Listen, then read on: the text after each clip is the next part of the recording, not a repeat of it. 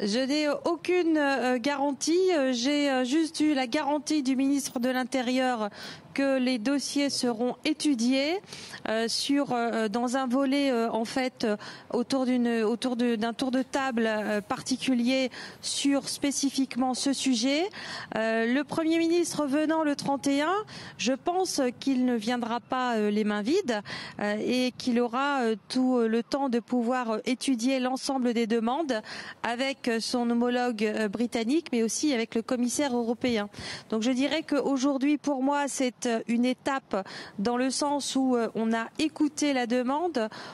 Il m'a été dit et devant la presse que les dossiers seront étudiés. Donc j'ai espoir, mais vous me connaissez, je ne baisserai pas les bras et ma détermination est intacte.